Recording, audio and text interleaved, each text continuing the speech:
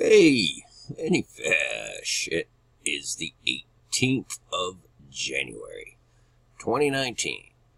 And this is one of those things that uh, makes you go, hmm.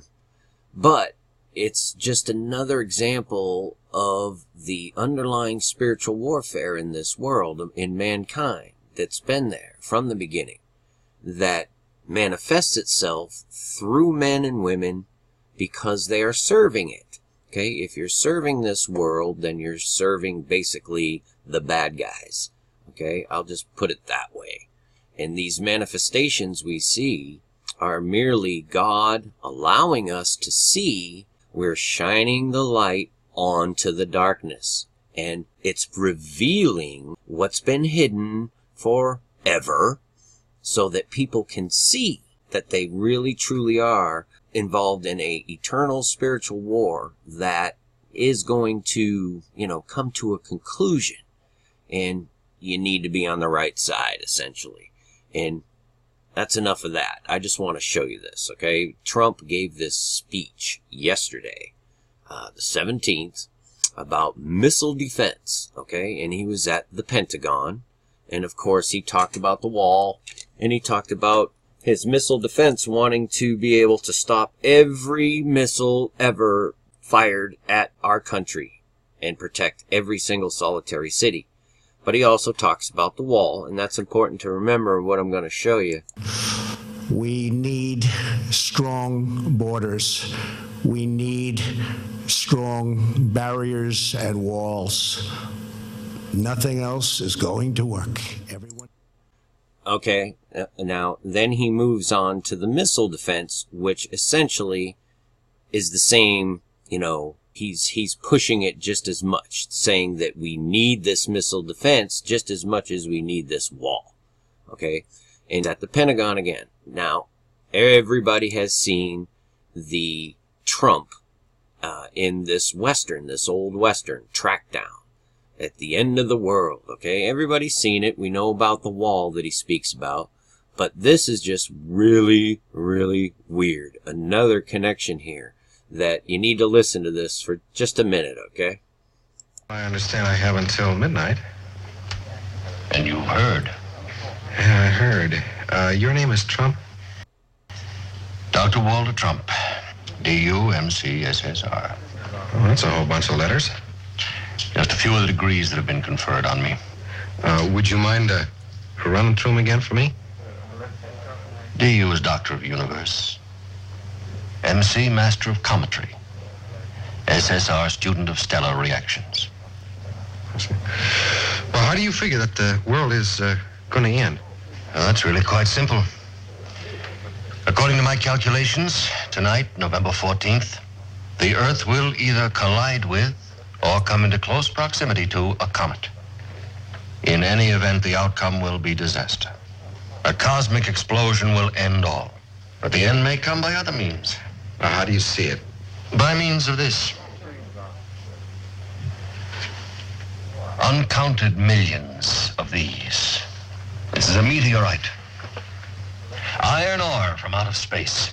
They will rain on the earth like pepper on an egg. Each one red hot, traveling at speeds in excess of millions of miles an hour. Molded by their passage into unstoppable bullets. But uh, you can stop them, huh? I can, sir. And I will. See, they are drawn to the earth by a force that we call gravity. I have discovered how to repel that force. By doing that, I can save this town. Well, how? By means of a force repeller. You sell these force repellers? You have a very suspicious mind, sir. Okay, so, so far, he's saying that a comet is gonna hit, or all these millions of meteorite bullets, right? And he can protect everybody with his shield, his force repeller, right? Trump is talking about blocking all the missiles and putting up a wall, force repelling. He's at the Pentagon. Notice when Mr. Um, Witch Doctor here, okay, when he gets all the people together to, to start, you know, swindling them basically, listen to what he says here. Bobby had checked the town. The people were ready to believe. Like sheep, they ran toward the slaughterhouse. And waiting for them was the high priest of fraud. I am the only one. Trust me. I can build a wall around your homes that nothing will penetrate. Okay, now, he's the only one. The sheep led to the slaughter. The big lie, okay? He's standing there selling his wares, and he's right in front of this, this tent here with a pentagram on it. Trump is at the Pentagon with all his symbols there. You notice that? The pyramid, the all-seeing eye has got the black sun symbol over here. Just think about this. Trump at the Pentagon, it's a pentagram there, and he's talking about blocking with his force repeller all the meteorites that are going to come flying at the Earth. Just think about that. And the way he says he's going to repel them is through these umbrellas. We can watch it for another minute. What do we do? How do we save ourselves? You ask, how do you build that wall? You ask, and I'm here to tell you.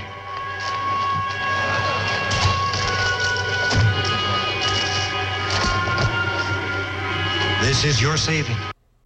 This is your wall. You mean that thing is going to save a whole town? Don't laugh, friend. Please don't laugh.